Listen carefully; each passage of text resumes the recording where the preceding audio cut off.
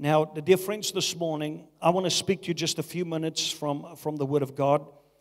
And I want to speak to you on the key of David this morning. The key of David.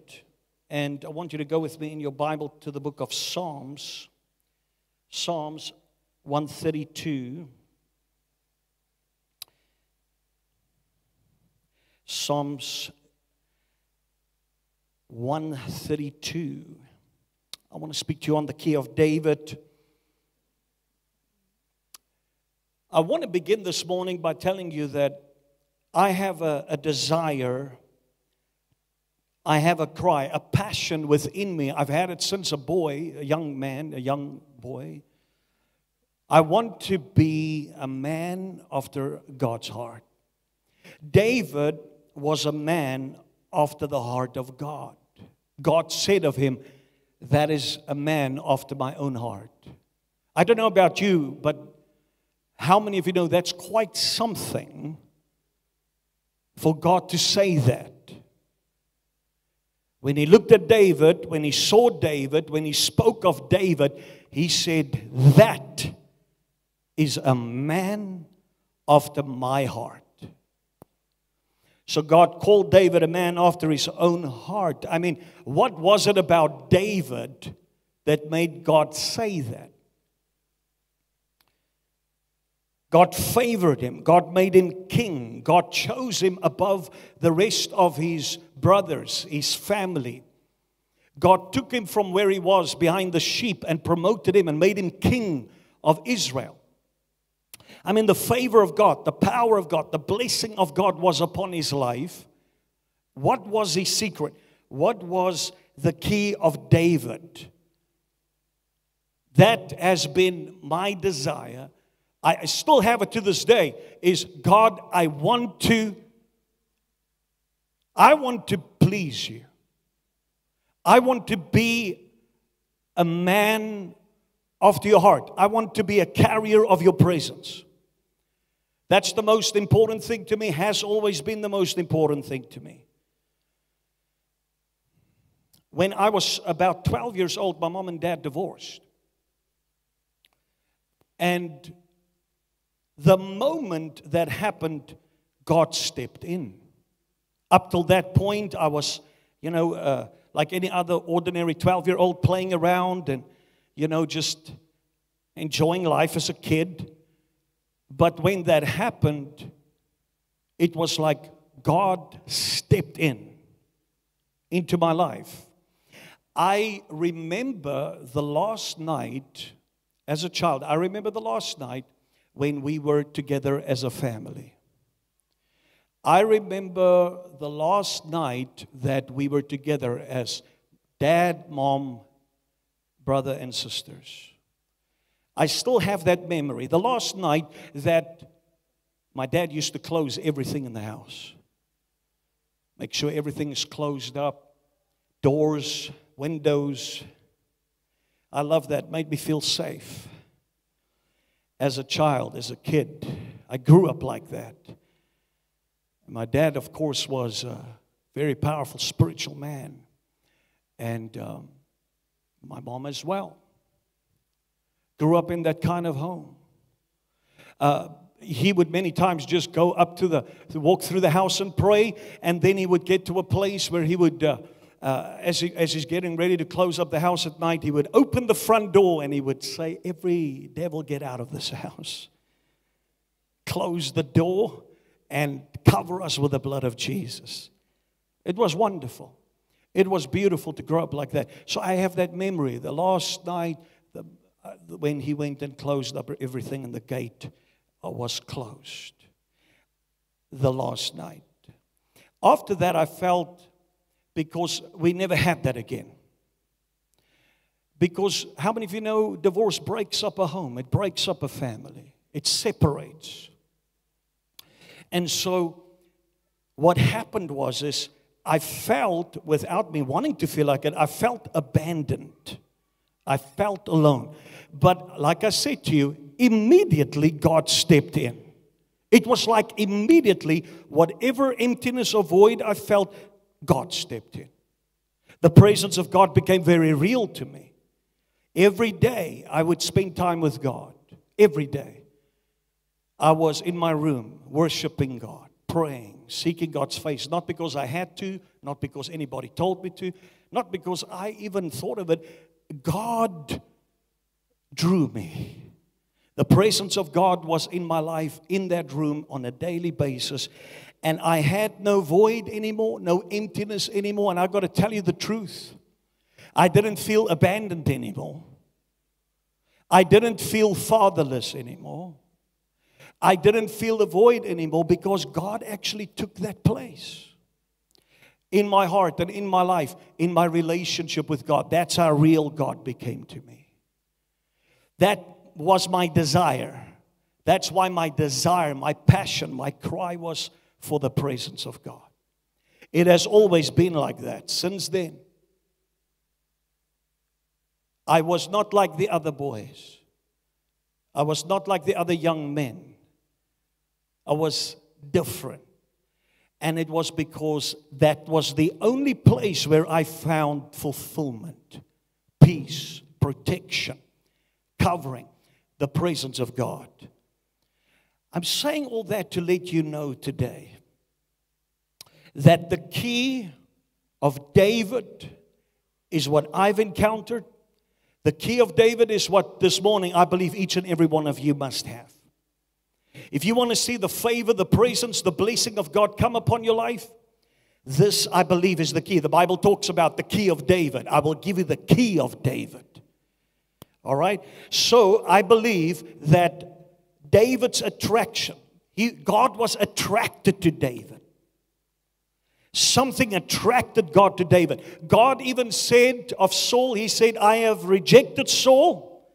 He wants to be a king, he wants to have a title, he wants position without my presence. He said, But I found me a man after my own heart.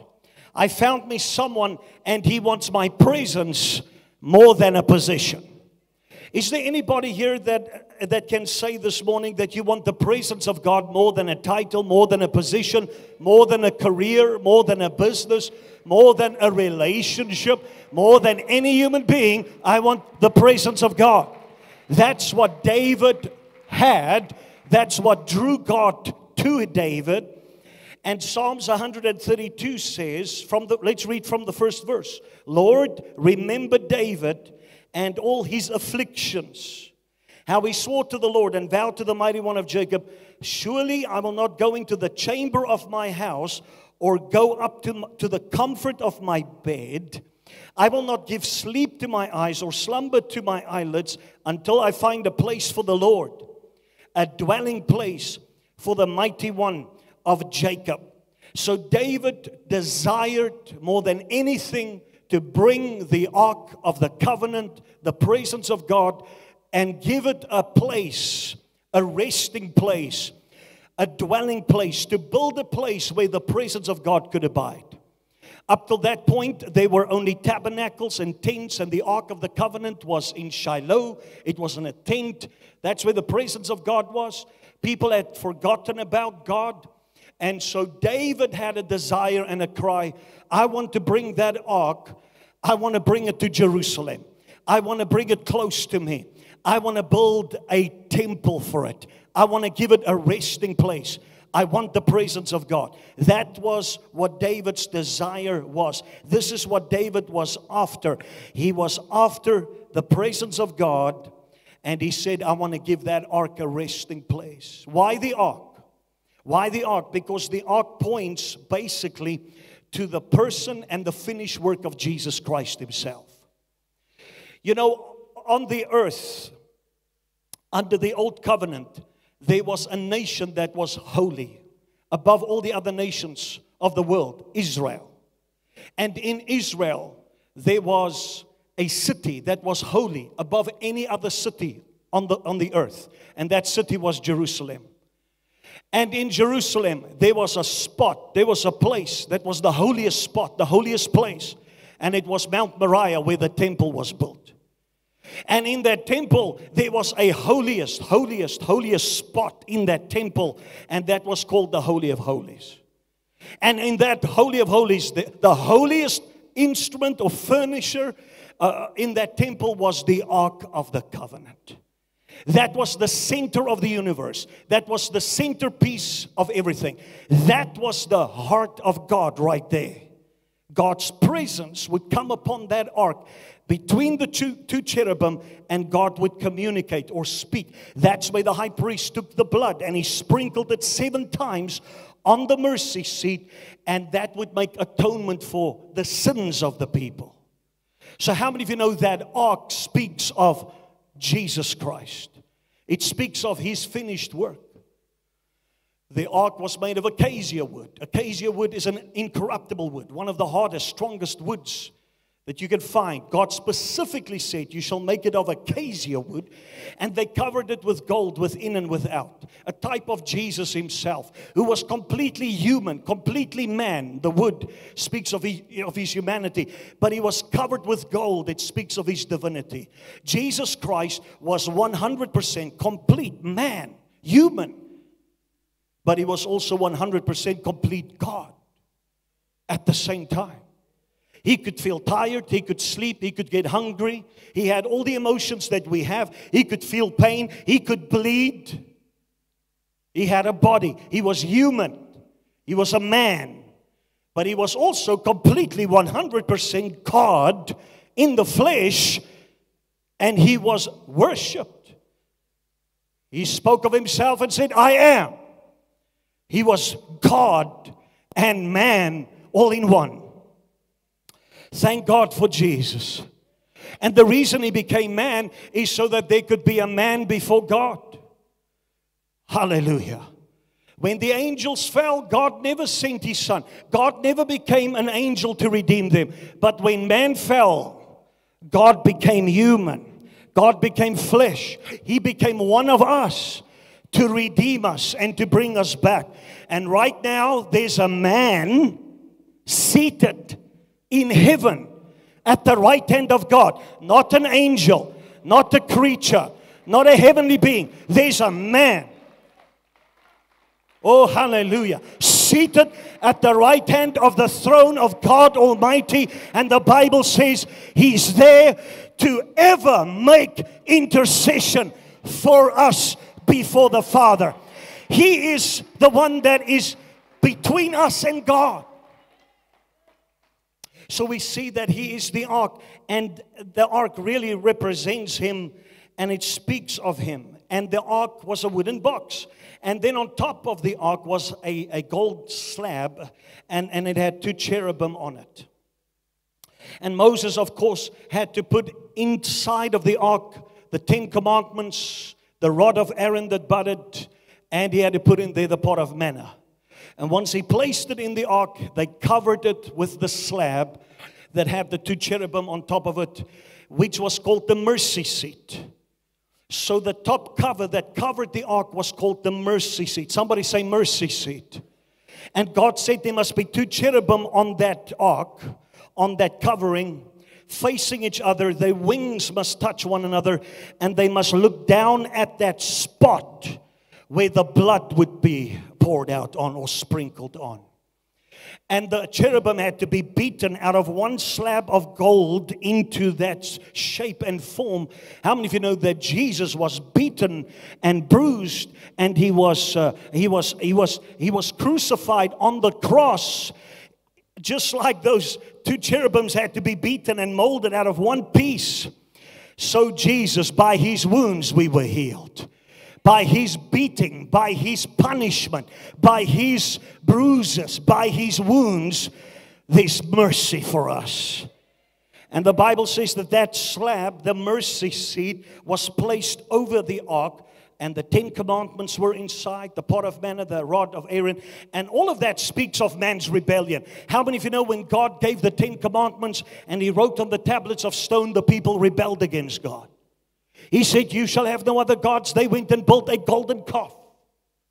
They did everything he said they shouldn't do. So it's a type of rebellion against God. The, the rod of Aaron that budded, they rebelled against the priesthood. They said, Who's Aaron?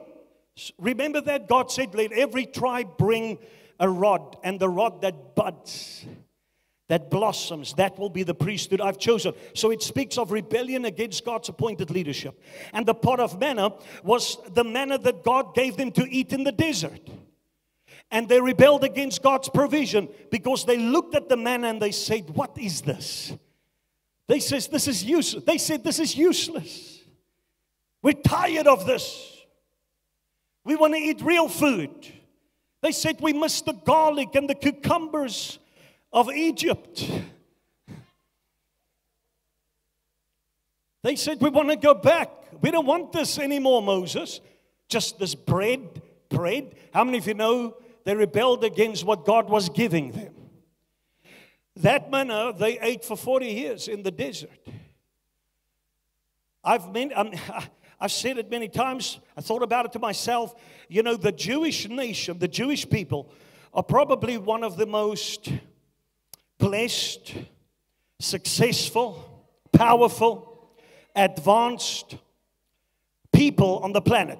If you look at the, the most wealthiest people, the most intelligent people, people that have had the most uh, technological breakthroughs, come on, people that are on the forefront of everything, you'll find that there's a Jewish heritage there. If you look at Israel, the Jewish nation, they should not, the, the way they have existed. Oh my God, I think we're about 300 years old. America's not even that old. There are nations that are only a few hundred years old. Israel is, they're thousands of years old. Come on, somebody. They are still in existence, and the whole world has tried to destroy them and be against them, but they stand. I say, but they stand. Oh, hallelujah. I believe it has a lot to do with the manna in the desert. They ate angels' food for 40 years, didn't get sick at all, didn't have any problems, no issues. Hallelujah. They were kept and preserved by that bread, by that meal. But they said in the desert, we don't want this. We're done with it. We're tired of it. So it speaks of a rebellion against God. And that was placed into that ark. But isn't it amazing that God says, put the mercy seat over it? Put the mercy seat over it because mercy always triumphs over judgment. God did not want to see the rebellion and the breaking of the law. He said, Put a mercy seat over it with two cherubim and make sure the high priest sprinkles blood seven times on that mercy seat so that when I look down, I don't see them breaking the law. I don't see them rebelling against me. I see the blood. Because how many of you know it is the blood that covers? It is the blood that brings the mercy of God. Can we give God praise for the blood? Hallelujah. So the blood covered it. The blood was making atonement for it. 1 John chapter 2. The book of 1 John chapter 2 and verse 1. I need everybody to read this with me.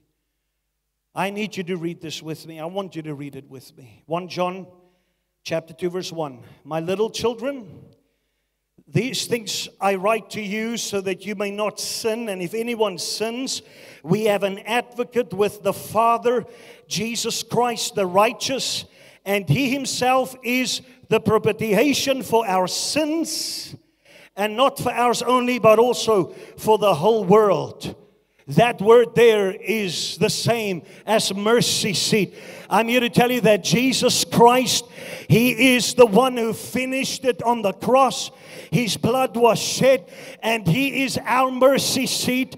And every time God the Father, I say, God, oh, the holy God, the perfect God, the just God, holy God, when He looks upon you, He looks through the blood, He looks through the mercy seat, He looks through the sacrifice. I need a few people to lift their voices, their hands, and give God praise for the mercy seat. Jesus Christ is our mercy seat. Hallelujah. I said, Hallelujah. So, whenever the devil comes to condemn us, to make us feel guilty, we have a mercy seat. Hallelujah. But I fell, but I broke the law, but I made a mistake, but I rebelled. There's a mercy seat. Come under the mercy seat. Come under the blood. Amen. Let God see you through the blood of His Son Jesus. Anybody who would dare to take the mercy seat off of the ark and look inside of it died. It happened. There were times that the people of God, there were one or two times that somebody took the lid off. When the ark came back from the Philistines, when they captured it, when it came to Kiriath Yearim, the Bible says the people there actually looked inside of it and they died. They were forbidden, they could not look inside of that. You know what? God doesn't want you to uncover, to bring back, to bring up what the blood has already covered. Don't bring up your sin. Don't uncover your sin. Don't uncover other people's sins.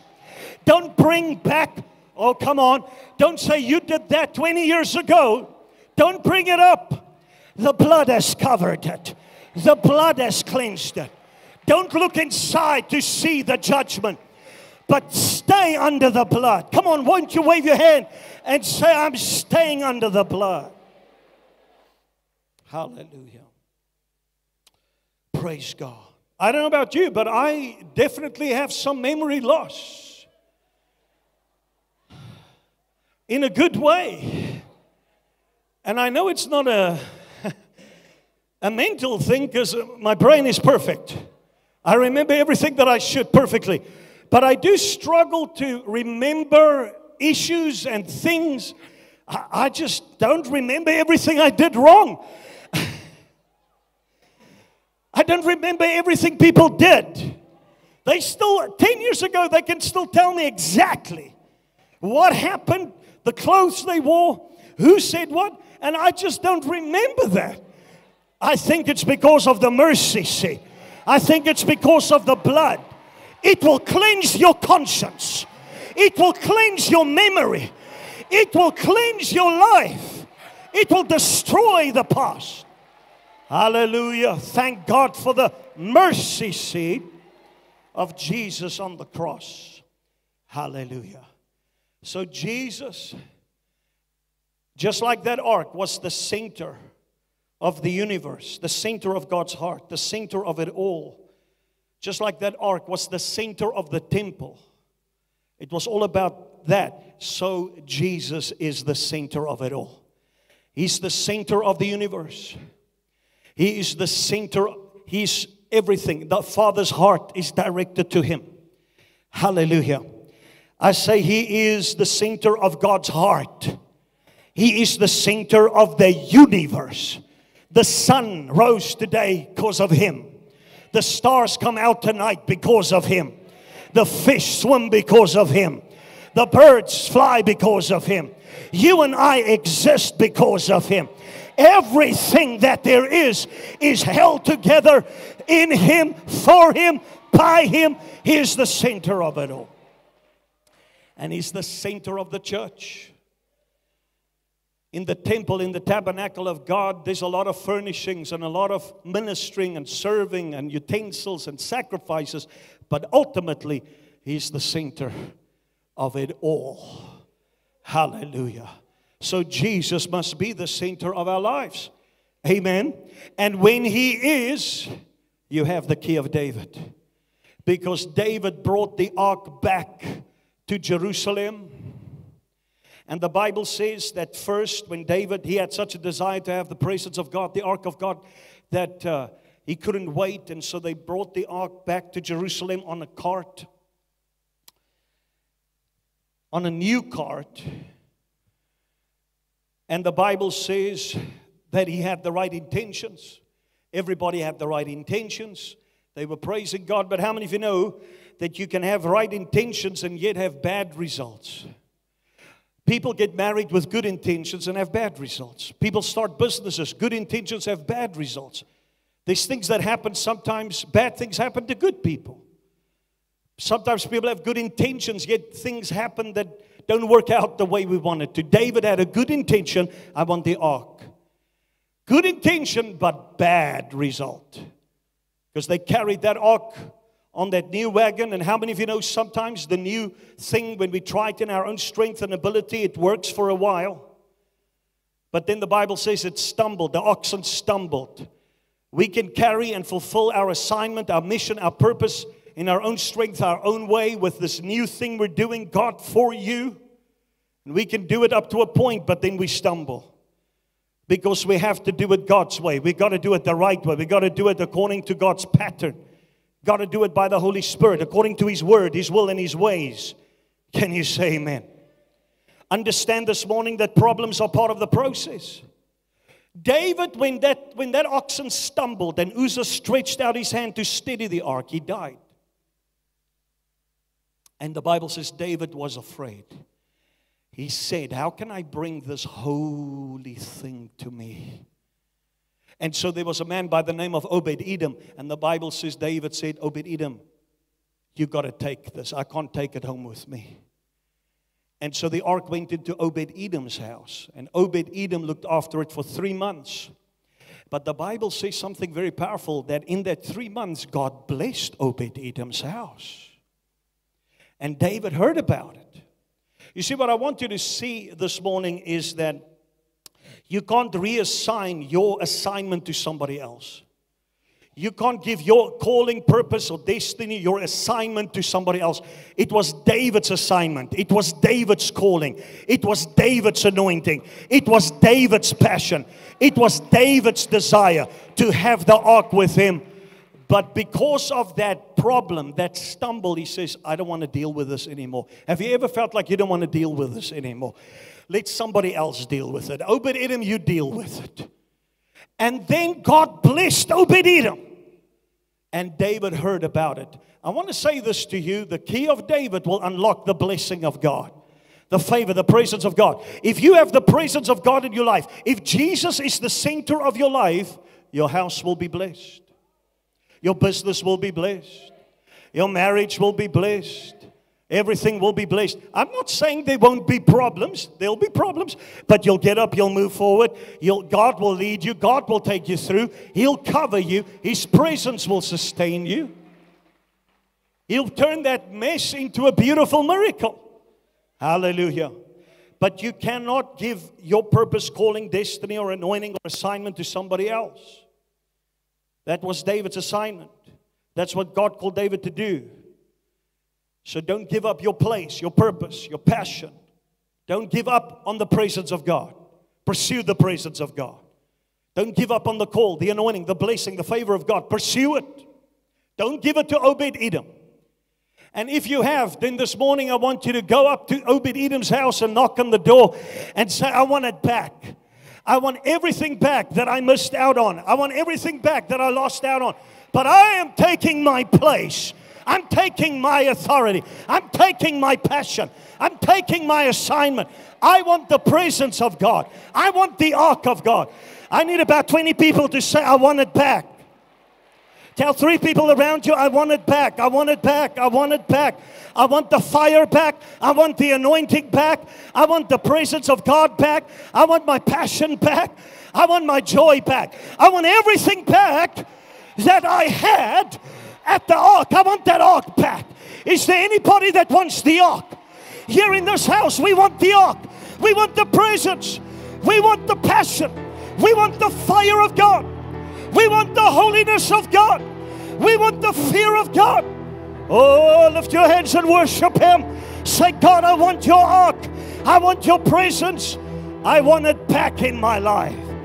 Hallelujah. Woo, glory to God. Hallelujah. Don't lose your purpose because David almost lost his purpose. He kept his crown, his title, his palace, his wives, but he lost, he almost lost his purpose. He said, I will not sleep. I will not give any rest to my eyes until I have built a resting place for the ark of God. That was his purpose. He almost lost it. Don't let anybody talk you out of your purpose. Don't let trouble bring you out of your purpose. Don't let setbacks stop you. I don't care how many times the oxen stumble. You don't have to try and do anything. God's going to steady the ark. God's going to come with His presence. God's going to release His power.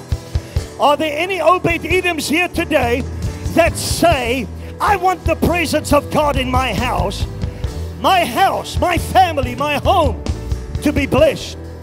This morning I prophesy breakthrough is coming to your house. Favor is coming to your house. Blessing is coming to your house. The ark of God.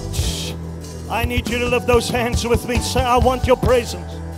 I want your presence in my life. Hallelujah. Hallelujah. Praise God. You can lose a title, but don't lose your purpose. You can lose a position, but don't lose your purpose. You can lose a friend, but don't lose your purpose. You can lose people, but don't lose your purpose. I've lost people. I've lost people. Some people say, Bye bye, I'm done with you. But I don't lose my purpose. As long as I have purpose, as long as I have the ark, as long as I carry that presence, as long as His glory is here, then it's all good. I want the ark of God the glory, and God will bless this house. He will bless your house as long as you carry the presence of God. Hallelujah. Take the presence of God into your marriage. Take the presence of God into your business, into the workplace, into your school. Worship Him every day. Let His presence come upon you. Hallelujah. So, Obed Edom is blessed. This whole house is blessed. The children are blessed. Hallelujah. And somebody reported to King David, he's blessed. The ark has brought blessing to his life and his family. And King David went there. And King David said, oh, Obed Edom, I'm so glad you're blessed and enjoying the blessings. But that's my blessing. I'm here to take the ark back how many of you know David interrupted, disrupted Obed Edom's enjoyment of the presence? And he said, I will not let you enjoy this all by yourself. I want that presence, that blessing close to me on my life. This is my assignment. This is my purpose. I must build a resting place for that ark. And God said, This is a man after my own heart. The key of David is to make his presence, the finished work of the cross, to make Jesus the center of it all in your life. Hallelujah. Would you stand to your feet this morning? Hallelujah. Are you ready in this moment right now to interrupt, to disrupt the atmosphere this morning with your praise? How many Davids are here this morning? that say, I'm tired of hearing how other people are getting blessed, happy marriage, children are doing well. I want that in my life. It's time for me to have the ark. I'm going to worship God every day, seek God every day. I'm going to be a man, a woman after the heart of God. Hallelujah. Oh, won't you come up and join me, worship team? Hallelujah. I want you to pray with me. I want you to pray with me where you are right now. Won't you lift those hands with me? Pray with me this morning and say, Father, I receive your precious word. I want to be a man after your own heart. I want your presence. I want the ark of your presence in my life. And today, Jesus be the center of it all. Be the center of my life. Be the center of my home. Be the center in my family. Be the center, Lord. Your priority, Lord. I prioritize your presence. I choose your presence to know you, to worship you, to seek you above everything else. Be the center, Lord, in my life. I want your presence, Jesus. Thank you, Lord Jesus. Father, I pray for each and every person this morning that prayed this prayer. I ask now that you will respond. I ask that the presence of God will come upon them, that the presence of God will fill them, that the presence of God will wash them, that the presence of God will empower them, that today, like David, they will cry out for the presence of God in their lives in Jesus' name. And I remove every hindrance, I remove every distraction, I remove it from their lives and their families and their homes. Right now, right now, right now, right now. I remove it from your house, from your marriage, from your family, from your children's lives, from your physical body. Right now, let Christ be the center of it all in your life, in your home, in your family.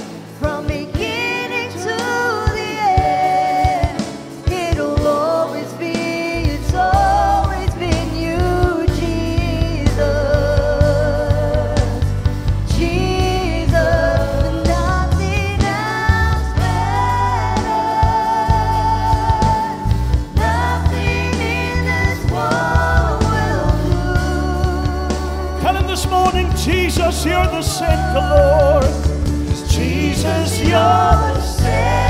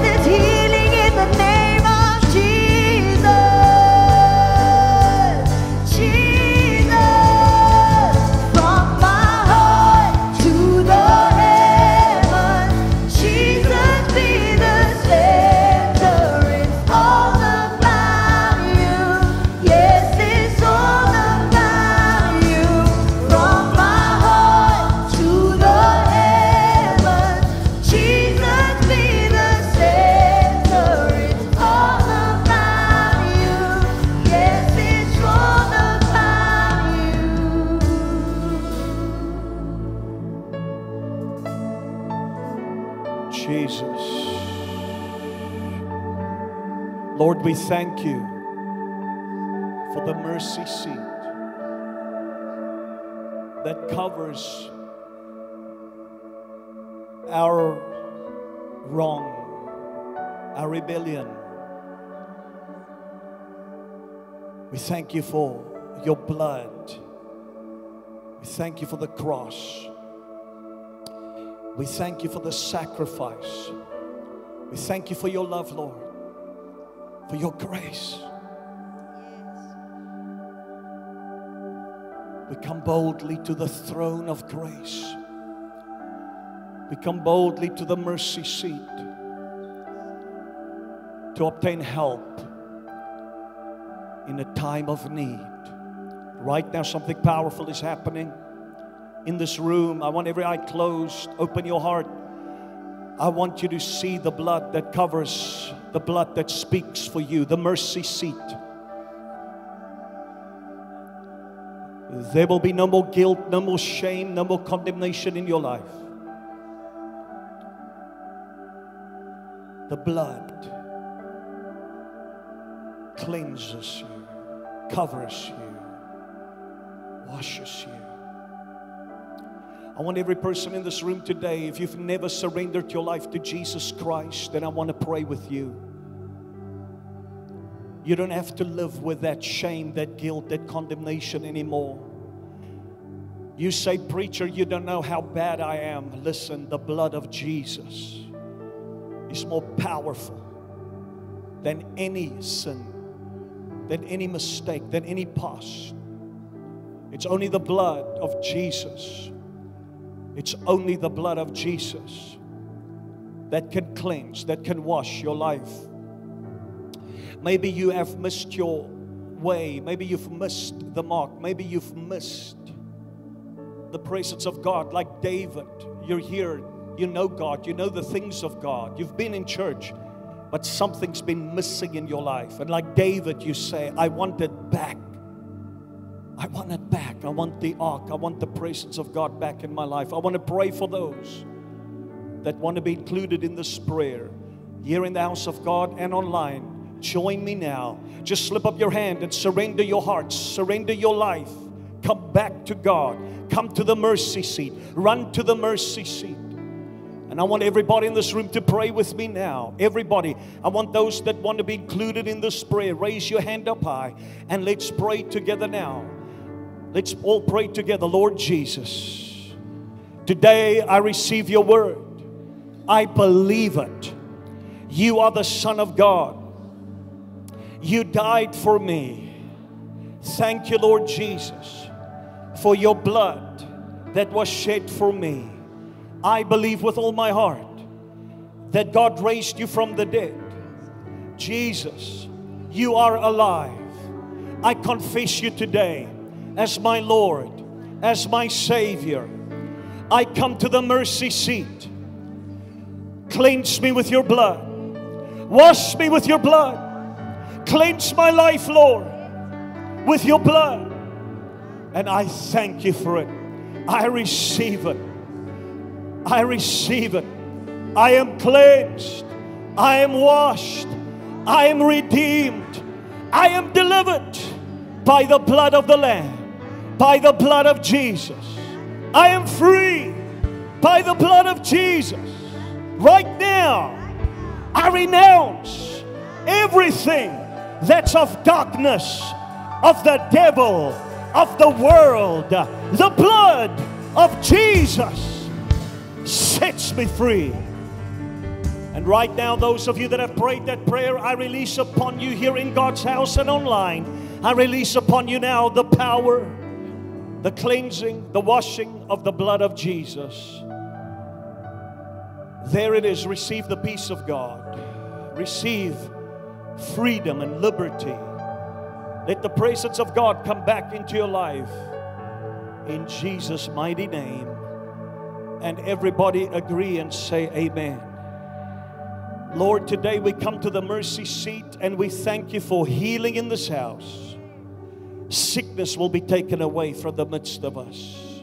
We thank you for favor. deliverance, blessing. Father, we want to be like David, a man, a woman after your own heart. We want to be like David. We want to worship you every day. We want to seek you every day. And we want to be carriers of your praises. We want the ark of God more than anything else. Nothing else matters. We want your presence in Jesus' name. And everybody said, Amen. You may be seated. 1 Corinthians chapter 11 and verse 23. Paul the Apostle writes and says, For I received from the Lord that which I also delivered to you, that the Lord Jesus, on the same night in which he was betrayed, took bread, and when he had given thanks, he broke it and said, Take, eat, this is my body, which is broken for you. Do this in remembrance of me. In the same manner, he also took the cup after supper, saying, This cup is the new covenant in my blood. This do as often as you drink it in remembrance of me. For as often as you eat this bread and drink this cup, you proclaim the Lord's death till he comes. Oh, yes. We sang it this morning. We're going to sing hallelujah till he comes again. And this morning, as we partake of the Lord's Supper, the bread is his body that was given for us. It is his body. You know, the Lord Jesus said this to God, the Father. He said, You were not pleased with sacrifices of animals, of bulls, of rams. He said, But you prepared a body for me to give you as an offering. Jesus knew why he was on earth to give his body as a sacrifice to God.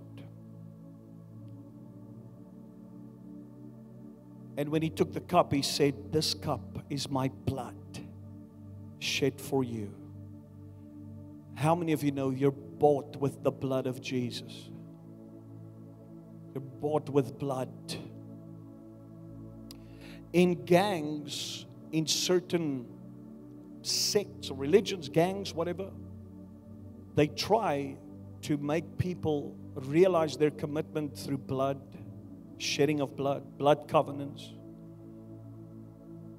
Can't get- be part of that until blood is shed. How many of you know that when it comes to your faith in Christ, it's through blood? You're a Christian by blood.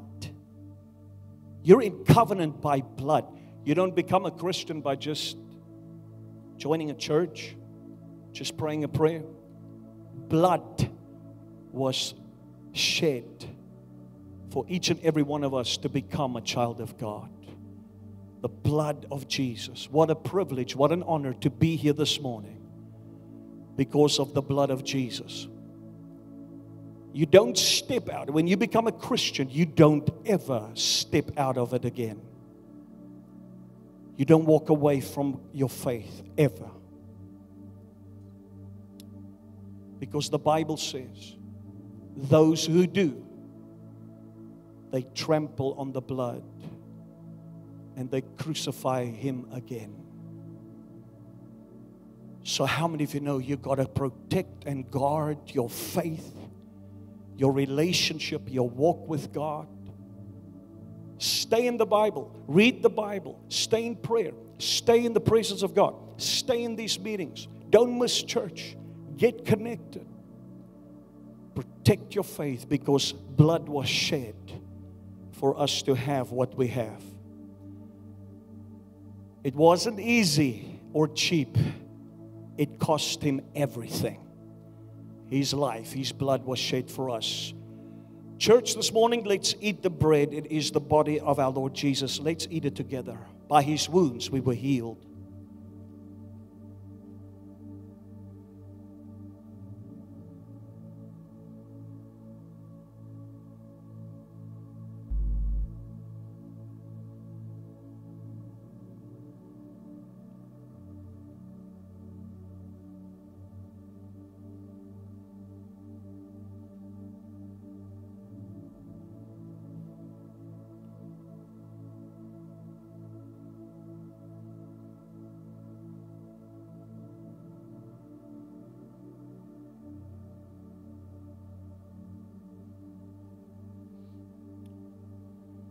We are one body. Christ in us, and we are in Him. Let's take the cup and drink. It's His blood that was shed for us.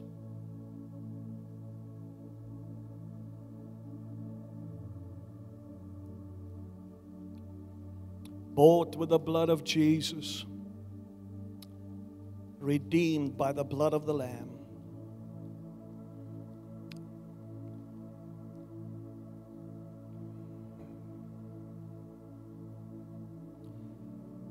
We proclaim your death by eating this bread and drinking this cup together. We proclaim today your death.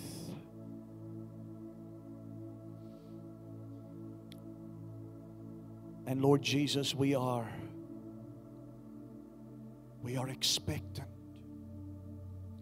We are excited because you're coming again. Until you come, until you come again from heaven, Lord, to come and take us away, we will sing hallelujah. We will proclaim your death, your name, your word. We will let people know about you, about your love. We will make your name glorious, famous, and known. And everybody said, Amen. Can we give the Lord Jesus praise? He's coming for us. I said, He's coming for us. If you're excited about the coming of the Lord, can we give God a praise and a shout? He's coming back again. Woo! Hallelujah. And the world and the news media and the reporters will say millions of people disappeared overnight. Aliens abducted them. No, it's not aliens. It is the coming of the King. It is the church that was raptured. And he's coming back again. And we will come back with him to reign with him. Oh, come on, somebody say hallelujah. He's coming back again. How I cast out the spirit of the Antichrist. I rebuke that spirit today. There is a rapture, there's a coming of Jesus, and the church will be ready. Can you say amen? Woo, hallelujah. I feel like having church this morning. This is the second half. Woo, let's go for the second half right now. Hallelujah. He's coming back again. Are you ready? Are you excited? Are you expectant? Hallelujah. Coming to take us, and then we come back with Him. Hallelujah. To reign as kings. Woo! Kings. Please tell the person next to you, you don't know who you're sitting next to today. Kings. Hallelujah. The Bible says God did not subject the coming world to the angels, but He subjected it to the church, to us, that we will even judge angels in the coming world. We are the world rulers with Christ, our King. Come on, give God a praise and a shout. The church is the triumphant church, the victorious church, the powerful church. Woo, hallelujah. Hallelujah. Pastor Mark, come and tell us. I've been looking for an opportunity. How? Where? See what you can do. Keep preaching, Apostle. Come on, give God praise, church. Come on, give Him praise.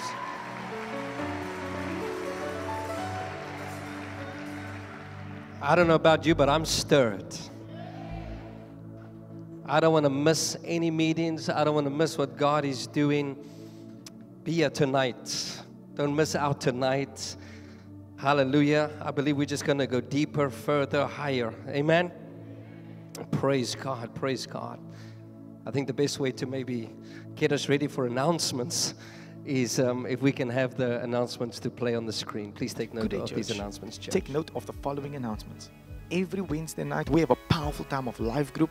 We are a church that believes in community. We believe what happens on a Sunday gets extended to our live groups every Wednesday night at 7:30 p.m. If you want to know more about what live group is, you want to connect to a lead in your area, you can go to the back and there will be someone at our welcome desk that will assist you further.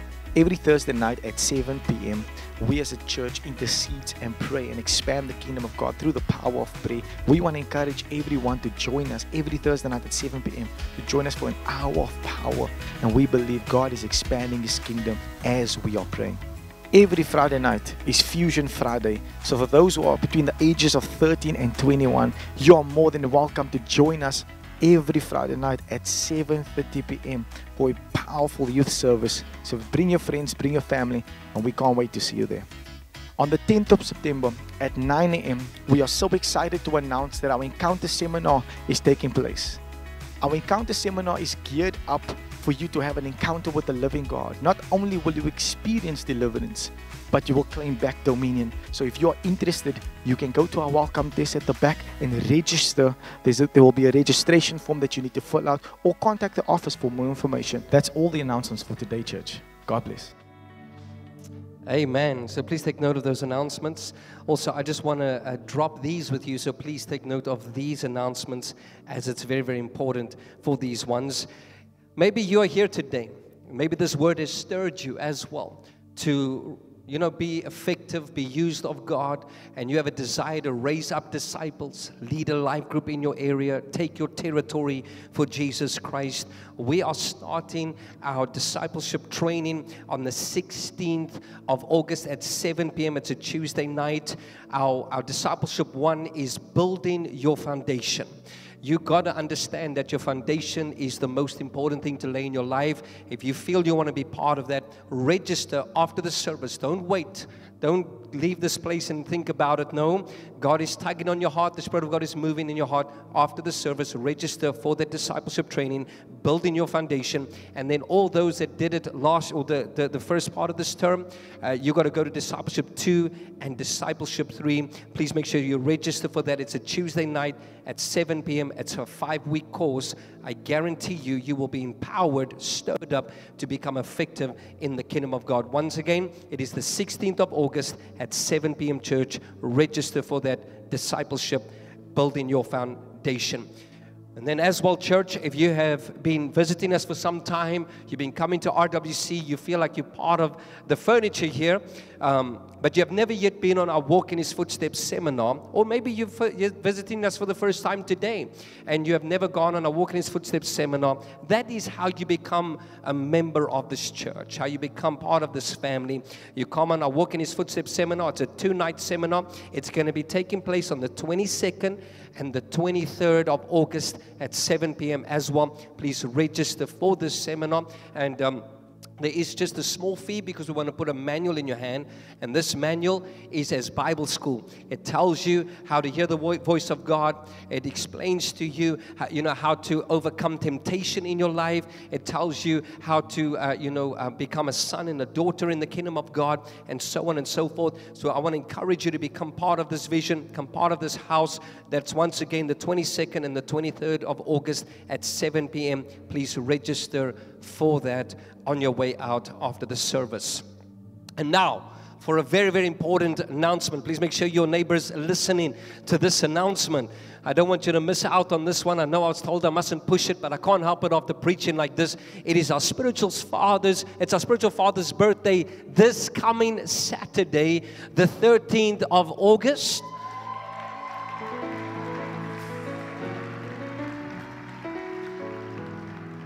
One thing about Pastor Mark is I'm big on celebrating birthdays. I think it's so important to celebrate life that God has given, and it's our spiritual father's birthday on the 13th of August. That Sunday, the 14th of August, we're going to take some time in the service to honor him and to spoil him and to bless him and to show love and appreciation towards such a man of God. We have uh, printed envelopes. If you have not yet got one and you would like one so that you can place a, a, a gift uh, uh, of honor in that in that envelope just slip up your hand right now. One of our beautiful service ambassadors will get one to you. Otherwise you can always get one at the welcome desk over there and come prepared. I see some have already been given. Thank you so much for that. You don't have to wait until the 14th but uh, that day we'll take a special moment in the service to be a blessing to apostle and just honor him for his birthday so on the 13th send many blessings to Apostle on social media. God bless you. Amen. Thank you, Pastor Mark. And I want to also, again, just encourage you if you are here this morning and you feel in your heart a stirring to become a, uh, a disciple maker, a leader. You want to disciple people and help them in their spiritual walk with God and raise them up and expand the kingdom of God. You want to impact people, then please register for the discipleship training. That we'll train you, we'll equip you to do that, to become that, and to be influential uh, in the kingdom and in the purpose of God. Amen. Well, church, uh, Maria also sends her love to you. She hasn't been here with us, with me for a couple of weeks. She has had some, you know, struggles uh, physically, but I am glad to report that things are going much better this morning. I believe, I really believe she'll be with us next Sunday. Uh, but please uh, keep her in your prayers. Keep us in your prayers as a family, as always. And uh, it's. I just wanted to announce that so that people don't think that uh, where is Pastor Maria? Uh, why is she not coming? She will always be here. She'll come uh, uh, with me. Uh, but we needed her to just get back on track physically and praying for her in every area. And just like I said this morning, how many of you know you, the presence of God, the ark of God, it affects every area of life? Yes, problems, issues, challenges do come. How many of you've note, note that? I was kind of, I went through something myself last year for a couple of weeks and months. And you know what? At the end of the day, I want you to know something. When you go through something, listen, problems strengthen you, problems improve you, problems empower you. You have a lot more of compassion for people. And how many of you know sometimes it's good for the spiritual people to go through stuff? Because when you go through stuff, you come out on the other side and you have a lot more compassion for people. But the Bible says if anybody, if anybody, James says, if anybody's struggling or suffering, let them pray. Hallelujah. Why does he say that? Because prayer changes things. Prayer changes homes and lives. We're not gonna, we may be knocked down, but we're not knocked out. That's what Paul the Apostle says. You may have times and moments where you had a knock, but you get up and you get on and you fight the good fight of faith, and Jesus is victorious. So I'm believing that, looking forward to that, seeing you this weekend. I just wanted you to know that she sends her love, you're in her heart and thoughts and prayers. Things are going well. We're standing on the word of God and the presence of God. The key of David is what changes lives, homes, and families. Would you stand with me as I bless you today? Keep us in your prayers. We keep you in our prayers at all times. Father, I bless your precious people. They are precious, they belong to you. And I bless them today that the favor, the peace, the presence of God will be upon them in Jesus' mighty name. This entire week, every day, that they will be drawn to worship God, to walk with God, to know God, to seek God, to pursue the presence of God. In Jesus' name I pray. And everybody said, Amen. We love you. We look forward to seeing tonight at 6 o'clock. Remember to join us at our Connect station and spend some time together. God bless you.